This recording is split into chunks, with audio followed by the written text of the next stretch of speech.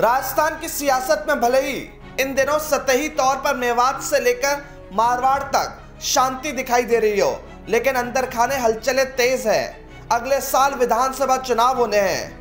महुआ से निर्दलीय विधायक और अशोक गहलोत समर्थित विधायक ओम प्रकाश हुड्डा पर कांग्रेस नेता ने गंभीर आरोप लगाए हैं। बिना नाम लिए ही कांग्रेस नेता अजीत सिंह ने कहा कि उन्होंने मुख्यमंत्री को इस नेता के बारे में पहले ही आगाह किया था। लेकिन चुनाव जीतने के बाद अब वो करप्शन के दलदल में डूब चुका है। यहाँ तक कि बिना नाम लिए अजीत सिंह ने विधायक हुड्डा को कातिल तक कह डाला। आप भी सुनिए कि आखिर अजीत सिंह ने क्या कुछ कहा। मैंने मुख्यमंत्री जी से कहा था, आज से ठीक ढाई साल पहले, मैंने कहा, साहब, मैं कांग्रेस का वर्कर आपको निवेदन करके जा रहा हूँ कि महुआ क्षेत्र के लिए इस निर्दलीय विधायक की उपेक्षा मत करना। इस निर्दलीय विधायक को ये विकास से मांगे, उतने विकास के काम मेरी महुआ की धरती पर दे करके आप लोग जो है हमारी सेवा करने का काम करना, लेकिन प्रशासनिक नियंत्रण पर,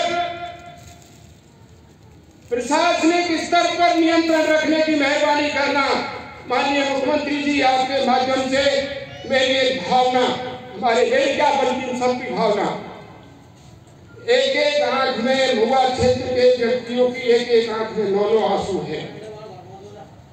घर से निकलते ही वो भ्रष्टाचार की आकंठ में परेशान ग्रसित पीड़ित है।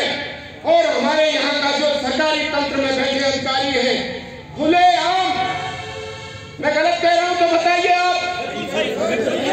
भ्रष्टाचार के मामले में अगर राजस्थान के इतिहास को उठा करके देखेंगे और वर्तमान परिस्थितियों को उठा करके देखेंगे तो महुआ की धरती पर जितना भ्रष्टाचार है उतना राजस्थान में कहीं देखने को नहीं एक जूतियों पे पॉलिश करने वाला, भैंस का गोबर उठाने वाला, खेत में सब्ज़ी बेचने वाला गाँव गाँव में जाकर के हाथ जोड़ के पैर पकड़ने वाला, एक नरम स्वभाव का व्यक्ति बहुत बड़ा कातिल है।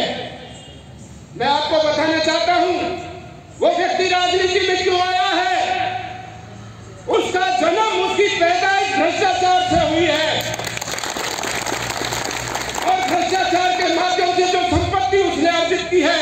उस संपत्ति की सुरक्षा और अपने परिवार की सुरक्षा